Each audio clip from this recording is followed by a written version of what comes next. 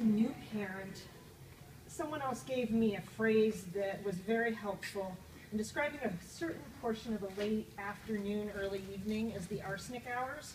Um, when you wanted to, you know, either give yourself the arsenic or give someone else, but at that, that point, you know, sort of everything had to, uh, uh, was exhausted at that point in the afternoon. Um, and I think, and I think we're hitting this sort of arsenic hours moment of the conference, right? When you hit the 4:15 session, and people are like, "Should I do something else before the end?" We're also up against what sounds like other fabulous, you know, prototyping sessions. Yeah. Um, and so, uh, so I'm a little bit chagrined about that because I know that some of the people at Isabella Stewart Gardner and elsewhere are doing some really incredible work. So I'm Kate Haley Goldman. Um, I do visitor-centered planning, strategy, and evaluation. And I've had the fortunate um, time this year and in recent years to be working with both of these gentlemen. Um, do you want to introduce yourself? Sure. Before I go, go this? Yes? Is this on? Testing, testing. Nope. Nope.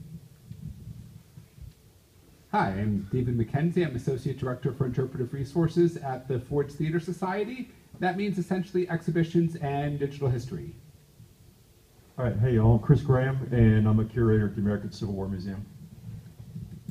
So in, we're going to talk about two very different places where we were doing rapid prototyping and design sprints, um, and sort of the pros and cons of those solutions, what it allowed for in terms of institutional and organizational growth, um, and where, where we felt like it was appropriate and not appropriate. I think we, we all learned a lot over the cour last course of the year in, um, in planning this forward. So, um, I'm not loving this, uh, this the second time.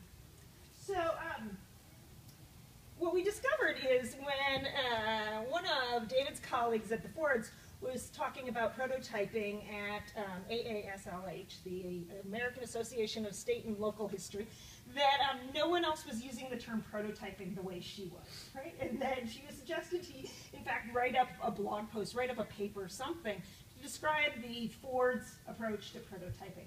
Um, and I'm going to let David dig into that a little bit more, but this is, his project is something that we cooked up together um, to, to really look at solving a particular problem. And so I'm asked a lot in the evaluation world to do user testing. Um, and user testing is a catch-all for so many different portions of the design process um, that it, it becomes very difficult at times to figure out exactly what the goal is. We all know that there can be benefits from testing while in development, but these are different types of things. So the top picture up here, we're actually looking at usability of a digital product to just see if we've got bugs going forward, right? Like, can you get through the whole component of it? In the bottom, this is a project um, that Bruce and others were working on, and I was doing some um, some user testing there. We're actually looking at the kids' concepts of data literacy. Do they understand what this bar graph is um, for the science exhibition that we're going to be working with, and can they interpret that data? That's not the interface that this is going to be on at all. This is purely about comprehension, and it's early enough that it's comprehension so that we know how to design rather than whether we designed right, right? And so um, it's a very, in some ways, does my idea work for you portion of user testing. And while it comes out a lot of this human-centered design principles and design thinkings, it is still in some ways a very traditional model of I've designed something and now we're going to see if you can work it properly. right? And sometimes there are bugs within that, um, and it's, uh, whether you can understand the idea properly. Um, and and there's there's other forms of that. There's certainly nothing wrong with this. We do this all the time because you don't really want to have those products to get out on the floor and not have done usability within this, right? I had a website that we were testing and none of the people could enter the website. You had to do a little script in order to, to enter the website. And you know, user testing of five means that that project had totally failed and we had to go back to the drawing board. And you don't want to end up at that point for deployment. But there are other ways to go about this, um, rather than comprehension and usability early on. So what David's going to be talking about is a design sprint piece that we use where we would do a very um, time-boxed process in terms of trying to solve a very specific problem, right? And as you all know, the, the difficulty within these pieces is not necessarily coming up with a solution.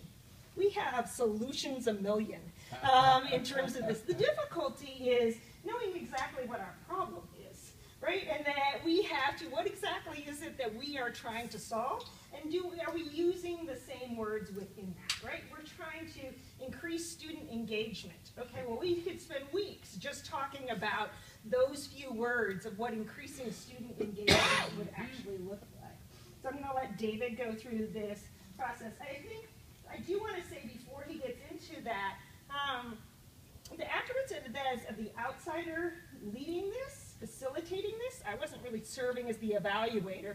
I was more serving as the traffic cop for a lot of the process that Ford's was, was going through at that point in time, is that it was um, not just problem oriented, but it was also very cross-departmental, right? So this is not their IT department trying to solve a specific problem. This is folks from communications and marketing, with education, with visitor services, etc., pulled from a selection across the institution. In a particular, we are going to spend a certain amount of time doing this. Um, the other thing that I would say that was very important, that was very different for this this group is that we have to have a decider in the room which I would say Ford's was very uncomfortable with as an organization um, going in, um, is that they are one of those museums that it feels like the meeting should be about consensus. And everybody knows it's not entirely about consensus, right? Like they're, they, we're not having everybody have equal votes within this. But the idea that I would say to David or to someone else, you are the decider, and we're going to go through these different options, and everybody's going to have their say. And then the person with the actual fiscal authority, or whatever else that is, is going to make a decision, change the room quite a bit. And you would think that that would make it more hierarchical. And I don't think it necessarily did, but we will, um, within that, it gave um, a sense that you knew you, the team had reached a decision, we gathered a certain momentum, and the opportunities were clear within that. And that's part of the, the, the design sprint baked in process.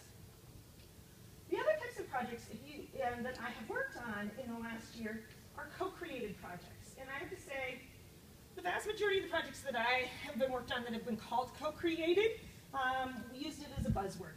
Right, and so yeah. I'm on two projects now where they are co-created not as a buzzword, and it is really, really difficult to see that kind of authority and control, even writing the grant. So one of the grants that we wrote, we said, we actually don't know what the outcomes are yet because we haven't met enough with the community to hear what they think the outcomes will be.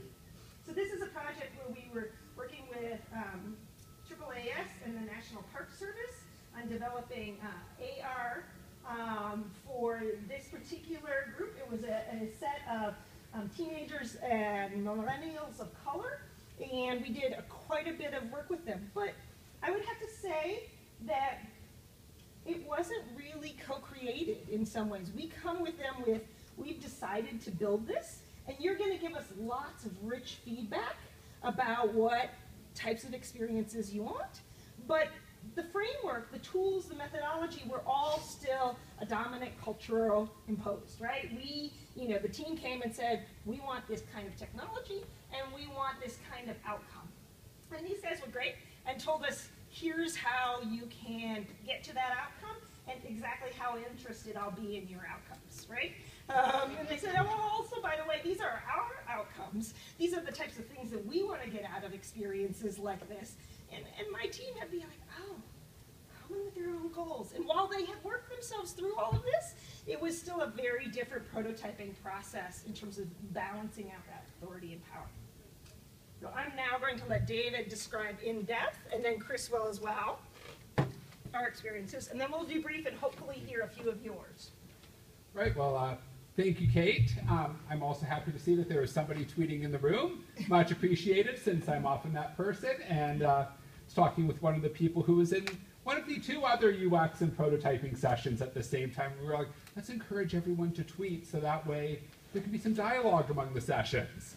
So yeah, so um, as mentioned, I'm, I'm David McKenzie. I'm um, Associate Director for Interpretive Resources at the Ford's Theater Society in DC. So um, yeah, we, we did a very particular type of prototyping where we did prototyping sprints. So really, you know, this was really for the objective of student engagement. Now, as Kate said, how to define that term? Good question. But I think doing this process actually helped us to get toward maybe not a full definition of that term, but more of a um, we know it when we see it type of definition of that term. So you could say my alternative title will be How We Went from a Mobile App to Cardboard Cards and Flip Doors. So we'll leave you with that little uh, cliffhanger there. So, um, just a bit, of, a bit about us. Um, so, Ford's Theater. How many of you have heard of Ford's Theater? Yeah, yeah. Site, you know, site of President Lincoln's assassination um, became a federal office building after that, um, and uh, totally gutted. But since 1893, there was a Lincoln Museum on the site that was really devoted to Lincoln's life. Um, and a lot of that collection for the Lincoln Museum became federal property in 1926 and is still part of the National Park Service collection. So um, you know, very much Lincoln emphasis versus Lincoln assassination emphasis. Um, the historic theater space wasn't restored until 1968. It's operated by a joint partnership between the National Park Service and the Ford's Theater Society. Ford's Theater Society is my employer. It's actually originally the um, theatrical production company that has since morphed into a Park Service partner organization. So a relationship isn't always clear cut, um, especially when you're planning an exhibit together. Um, get really complicated. And then um, Theater gets about 650,000 visitors annually, and of those, about 235,000 are students in school groups, especially in the spring. We usually have to add about five extra minutes to getting to work for just cutting through the lines of students to get into the office in the spring. So um, with that, with those numbers, you would think that maybe a core exhibition would be um, friendly to uh, students. Well, the core exhibition was done by a presidential historian in 2009 and is kind of a Lincoln Presidency 101. So, um, yeah, so yeah, it, it is really, um, it is very much like you see here, the wall of Union generals from the Civil War. So part of my sarcasm here, I was not part of the society at the time, and I will disown any comments I say there. But um, yeah, everybody is kind of relieved. So initially, what we were looking to do was to um, engage you know, students in this, thinking that previously the ex exhibition space had been on 20-year cycles. So we think we thought we had another 10 years that we were stuck with this thing, and uh, going to have, you know pump millions of fifth to eighth graders through it in that time. So we thought mobile will be the way to go. This was like 2016. Mobile's the way to go. Well, um, we got a grant from IMLS, thank you IMLS, to do a student mobile solution where we said that the object of it was student engagement. Um, started going through it with Kate as our evaluator. Um, started to quickly find a lot of issues where uh, mobile pickup rates are very low. Um, in fact, we could probably hire a few tour guides and give guided tours that would be more engaging than something on mobile to the same number of students that we would reach with something mobile. Um, but also then we, uh, we got in the very fortunate position where Park Service submitted and got money to redo that core exhibition 10 years sooner than expected. So sweet. Except the one, the one issue is that we still have that pending IMLS grant. so um, working with Kate, we first figured out um, we talked with IMLS, and thankfully they were very um, they were very flexible. It, it, took a little while. Um, what it sounds like a lot of internal decision making, um, but uh, basically we were able to say that we had the same objective in mind, which was student engagement in this space. But you know, between having done the work to realize that that initial plan to fulfill that objective wouldn't work, and then the change in underlying circumstances of we'd be building something mobile for a space that would be totally gone in two to three years. Um, we're able to pivot the project instead to, um, to prototyping sprints. So we are working with Kate, um, happened that my boss had taken a human-centered design course, specifically focused on prototyping the year before. So, uh, hint to everybody, if you want to get your institution involved in human-centered design, have your boss take a course. Um, in this case, she took the course on her own, and then was like, David, we need to do this. So, um, we worked with Kate to really look at what could we do to engage students in that space. So um, Kate developed a series of six week-long prototyping sprints. We also pivoted to um, using some of that funds for, for digital signage, finding that wayfinding is a big problem on our site, and even expectations of what you're going to do on our site. So, talked about the prototyping sprints part. The goal, uh, eventually we came to a goal for this. That was the goal for all six week-long prototyping sprints, where we would rapidly prototype a short-term, low-cost intervention in the core exhibition to engage students. Now, we used a how might we um, framework for this. So the big question was how might we increase the visitor's sense of relevant of the relevance of the content? So that was really kind of the, the yardstick that we were measuring against. What I have here on the right is um, the wall of ideas that um, on a big whiteboard, Kate was like, order me, order me a whiteboard before our next uh, sprint. Literally, I had to, it came in that morning and um, had set it up and then we had our meeting.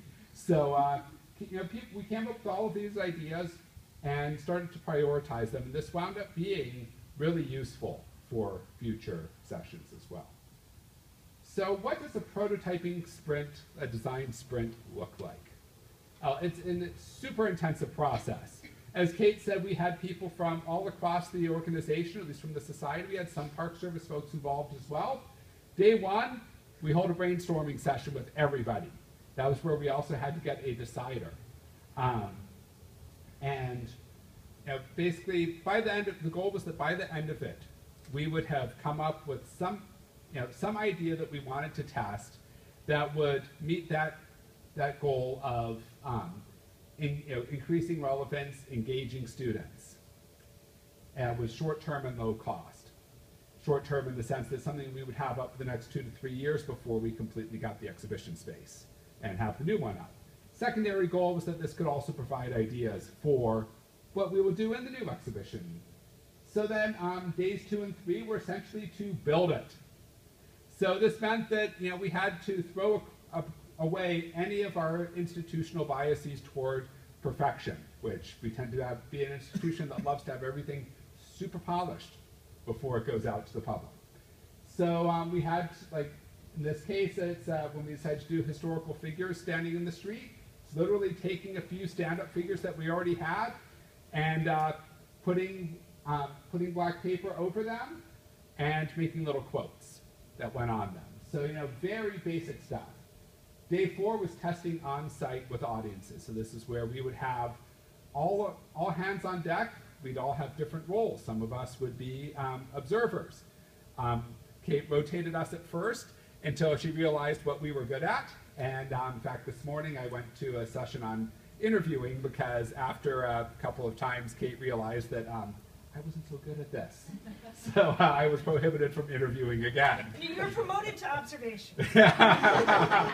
Which you're really good at. promoted. yeah. And so, uh, yeah, we had others who you know, were really good at going out and talking to the groups and saying, hey, we're testing out ideas today. You know, would you be interested in taking part? And um, you know, other people who were at the very end conducting interviews. If I could just break in, David. So the key thing I think for me and the team was that when they say day one through five, that means on Monday we brainstorm, on Tuesday we build it, on Wednesday we hopefully are done building it, on Thursday we collected data, and on Friday we debriefed, right? So this is not like day one this week, day two next week. This is like we spend the week so that when we're building, we often have these work sessions where you know you got to be done because tomorrow at 10 a.m. we have the student group coming out, right? And so this is as good as it's going to get for the idea, and really we know the idea down to the core sense of it each time, so that we could get to the floor and, and think things through. So yeah, so um, yeah, in these very very intense weeks, um, we wound up going through came six different ideas.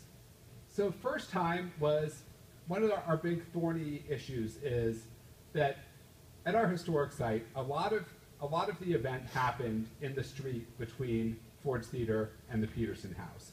Now it's a regular Washington City street with a lot of traffic going down it. Um, I mean, I was looking at historic site reports from the 60s that were like, we really need to close down that street and make it pedestrian only. Um, hasn't happened for 50 years. So uh, kind of doubtful it will happen. But you know, we were trying to think of you know, some ways to activate that space. So um, we did these, they're kind of, it's kind of hard to see on the left, but it's a silhouette of a person. There are people standing out in the street the night of the Lincoln assassination waiting for news about what was, what was happening.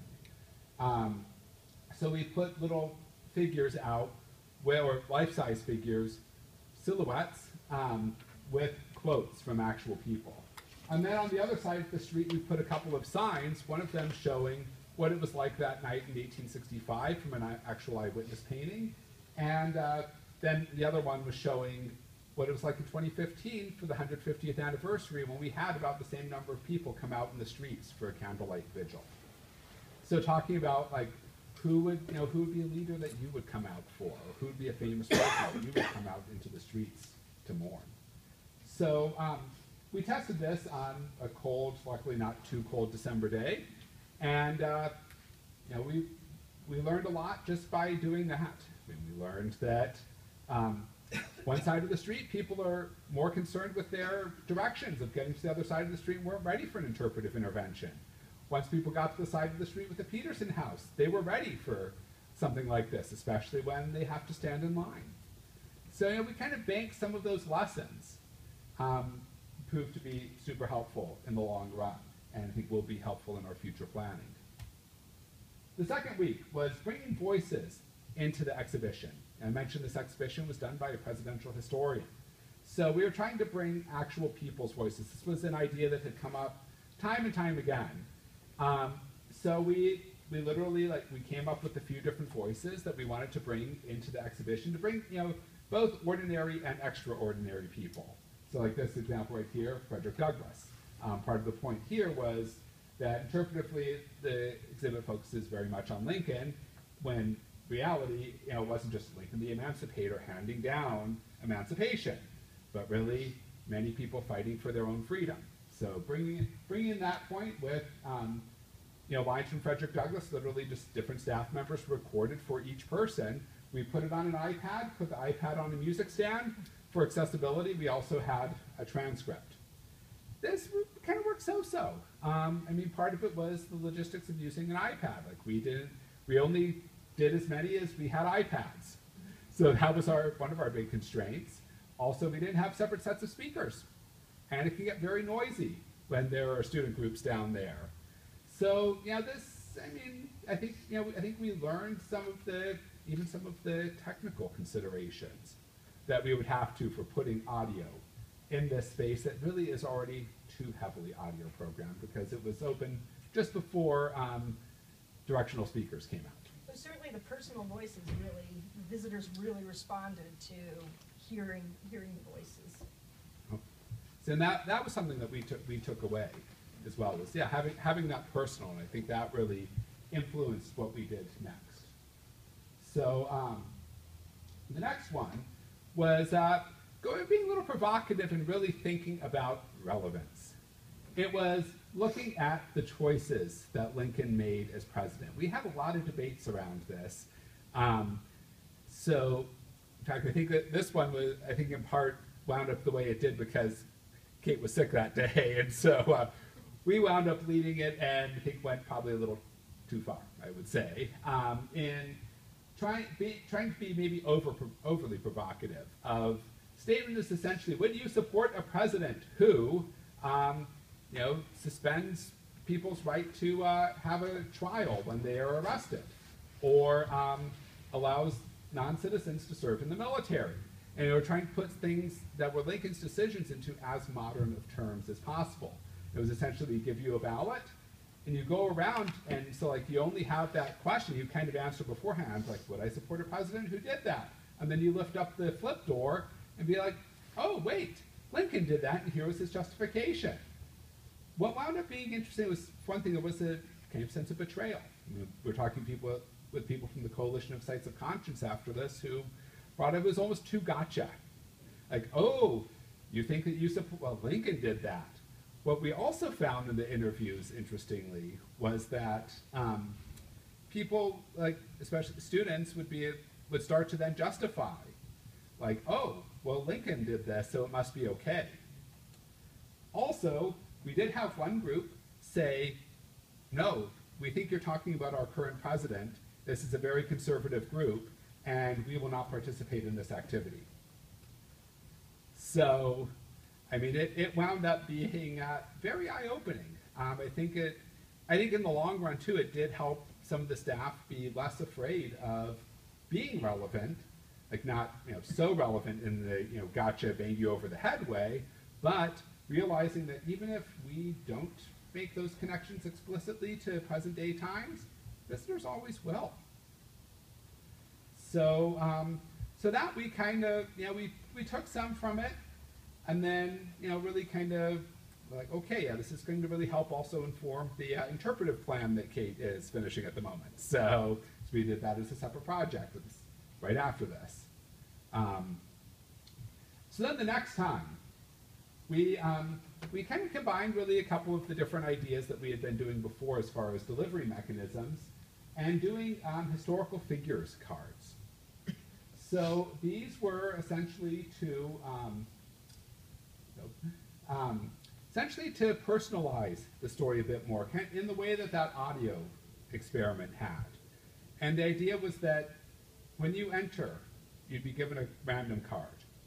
And the card would be a historical figure. So we picked a few early on. Um, we wound up tweaking them later on. Um, so Julia Taft, who was a teenager who interacted with the Lincolns. Um, Elizabeth Keckley, formerly enslaved woman who became Mary Lincoln's dressmaker and confidant. It's a really fascinating person.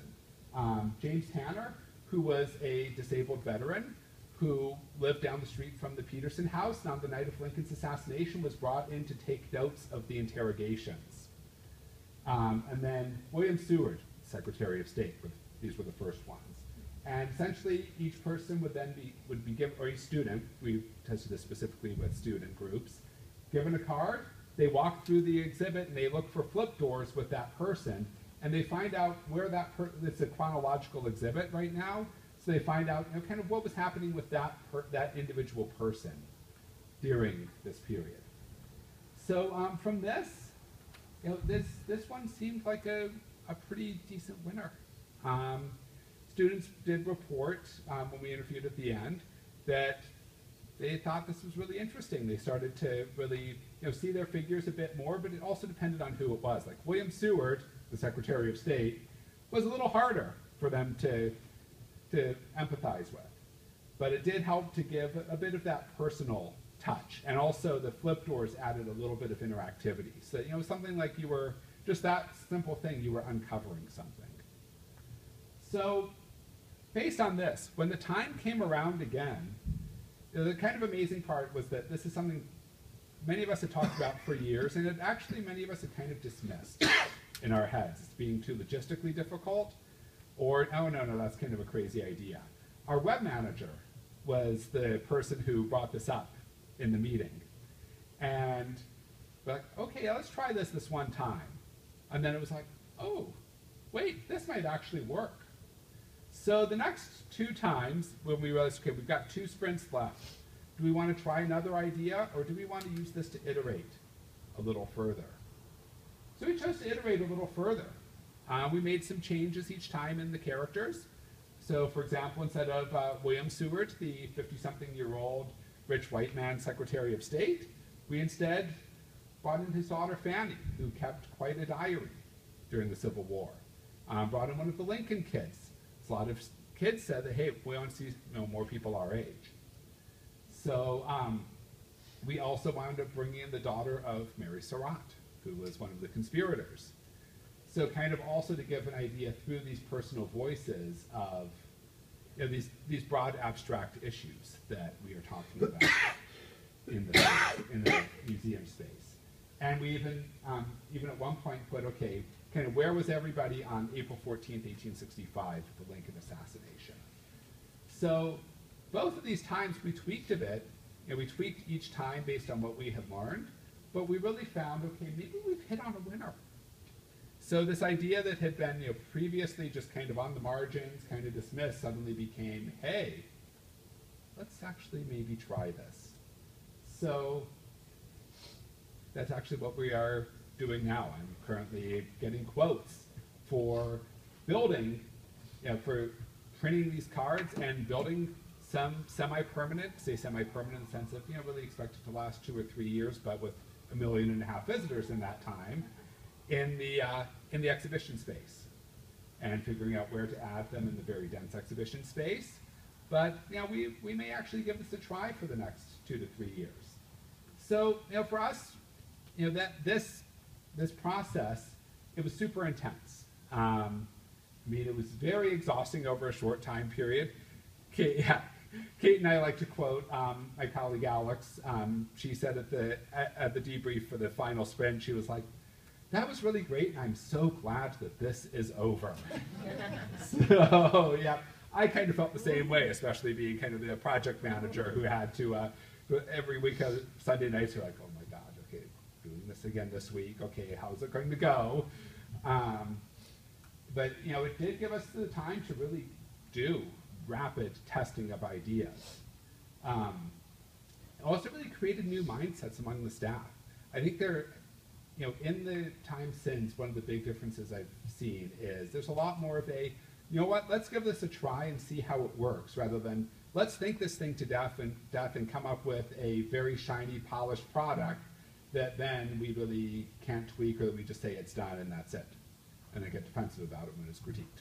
Do you mind if I add terms of, uh, we had people that they were, they were actively concerned would be obstructors in some ways. Very lovely staff and it was just like, no, you, you can't try this in. Uh, but I think the, the time boxing of it, the, we're just gonna put some paper out or some iPads out for a day or so. Um, those individuals became great advocates and ideators because it didn't feel as long or as, as stressful, right? We're gonna tape something up in the museum just for this one day. Um, and they ended up coming up with wildly unorthodox ideas that we wouldn't have expected. That I think if we'd been prototyping over the series of months instead of over a week, I would have not been able to get them to do that. Um, that that was very different. It, it was kind of, yeah, it was kind of amazing. Like some of our most like rigid, like step A, step B, step C people were coming up with these wild, crazy ideas. So, yeah. So then also, um, you know, I think it really did increase staff bonding too. Mean, we really, you know, a lot of us we were forced to work together. I mean, even uh, the um, visitor services manager discovered that her fiance was the favorite professor of um, the um, digital project manager. Just as we were when we were standing, sitting there talking together while we were working on something. So, so also, yeah, it really did force us to get over our need for perfection. Um, that said, sprints might not always be the way to implement long-term solutions. You know, th- this we only tested up to a point. So you know, there's a lot that we still really have to figure out for actually implementing this and making it happen, um, especially in terms of planning budgets, for that matter. Um, it also doesn't help, like, you come up with an idea and you're like, okay, this works great. Oh, and we've already gotten next year's budget approved. Um, so, yeah, we are right now trying to cobble together some money to actually build this. And then, um, you know, at the same time, one of the things we are really exploring now is we are launching into an exhibition design process. Like, I've been working with the Park Service on the scope of work, and we are trying to figure out and one of the main reasons I'm at this conference, so anybody who has advice, please let me know. Um, talked with some folks this morning about just, you know, incorporating more prototyping and generally human-centered design processes into what is a very linear, architecturally based exhibition design process. So that's kind of where we are now. And now we'll hand it over to Chris for, for their project. And we'll have some time for questions at the end, too.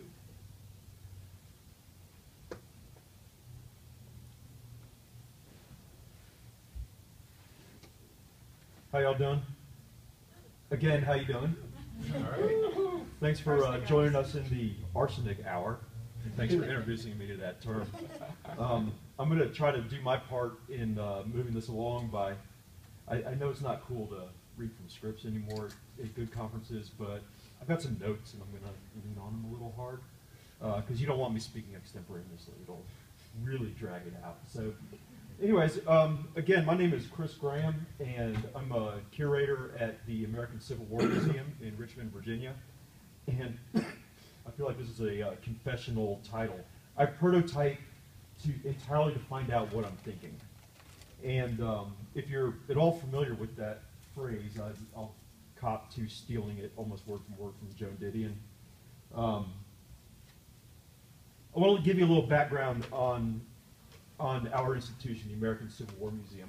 Uh, again, we're in Richmond, Virginia, and we are the currently the result of a merger between two separate uh, museum institutions that have lived in Richmond for a long time. Um, one is the Museum of the Confederacy, founded in 1896, and the other is the American Civil War Center, founded in 2006.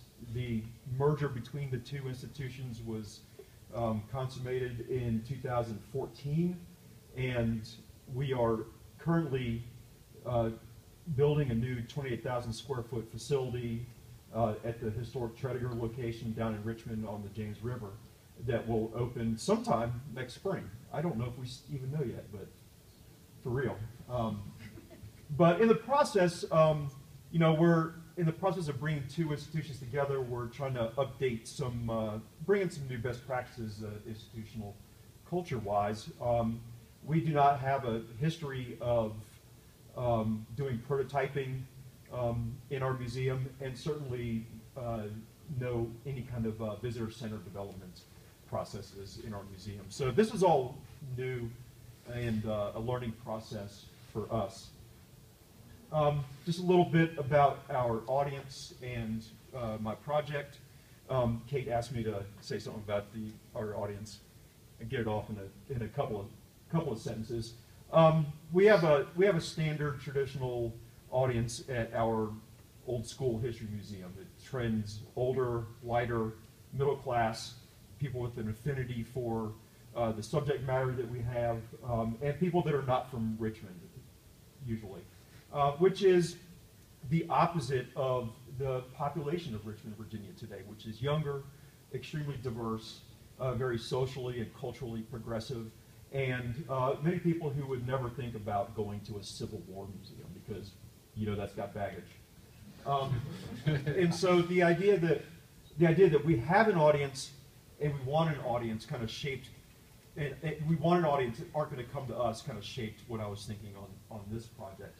Um, my group in the museum is funded by the Andrew Mellon Foundation, and um, they've got a long-term interest in uh, liberal arts in public spaces, and and so, long story short, um, what I'm doing at the museum is turning recently completed dissertations on the American Civil War into exhibits and projects in our space. We want to get the best new scholarship out uh, as quickly as possible. Um, and our current project is uh, we're calling Southern Ambitions, and it's an examination of it, looking at the Civil War experience from an international perspective, and particularly focusing on the Confederate experience and the city of Richmond um, in that. And uh, one final uh, note about our project is is this is different from uh, David's situation in that uh, the Mellon team is kind of a closed cell within the museum. Um, I've got me, and I'll cop to uh, being a historian, uh, coming from the historian world, and I heard your shading of the presidential historian, and he's right. Um, and I'm working with a postdoctoral fellow, the person who wrote the dissertation, and we've got two uh, graduate research assistants who come out of history departments. And so we are really tightly historian. And that helps us a lot because we, we're on the same page a lot of times. Um, but it doesn't help us a lot because we don't really need to um, to kind of get other other departments in the museum on board with our project or our vision. Um, so that that kind of enters into our our takeaways as well. Um, so supporting the Southern Ambitions um, exhibit project, we wanted to put something out on the uh, landscape of Richmond, Virginia. And I know that uh, David's kind of going out onto the street between his two properties. We're trying to get all over the city of Richmond. And so the idea is to place an invitation to an activity in front of people who are not looking for it um, and get them to do it. And so the people we're trying to get in front of is that uh, young, diverse, uh, culturally and socially progressive uh, population in in Richmond, and um, and so we created this thing called the RVA Global Tour, and RVA is the uh, abbreviation for Richmond that's used quite frequently there. And the RVA Global Tour uses physical installations. Um, we're calling them engagement points, which essentially turned out to be posters. Um, and a website to tell stories about Civil War era Richmond's international connections and connect users to contemporary sites of international culture in Richmond today. And the user path is, is generally um, encounter the poster, uh, be attracted by the poster, go to the website that the poster directs you to, discover there's an activity, um, perform that activity, which is essentially find two posters, um, take two selfies, come down to the museum for uh, discounts and uh, free prizes. So, um, and and so one of the uh, and so we uh, are trying to tell I think 13 different stories and uh, ultimately 26 different locations around town that we want to install these things. Um, what this is not is a uh, guided as a guided tour, a self-guided tour, and app. Because one of the assumptions that we're making is we want as low a possible a barrier to entry as possible, realizing that no one's going to bump into a poster and download an app to take a tour or to do an activity. Um, and so uh, low barriers for entry, um, strong attraction power, and uh, but otherwise we have no real way of predicting how people will um, engage with this or behave as they move along the, the, the visitor path that we're defining, uh, that we're defining for them. Um, and of course, and also we have no budget for this particular project, so it's got to be very, very cheap, uh, very, very inexpensive. Um, okay, so, and this has been ad hoc the whole way, and uh, you'll see I've got phase one, round one, phase one, round two. Those are kind of uh, retroactive, um, applying those titles to different iterations that we, we, we made over time to this. So um, the first thing we did was create cards that we wanted to leave out. We anticipated that a lot of the locations we're using are restaurants and cafes and other places where people will congregate and sit. And so we're using, we started out using cards, and we wanted to use a little unconventional uh, graphic look, and believe me, for a Civil War museum, that is unconventional graphic.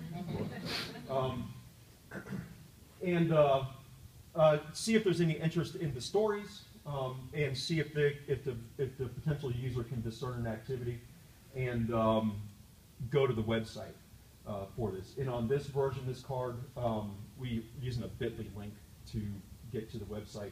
And the website, southernambitions. Is it com or org? Southernambitions.org, thank you.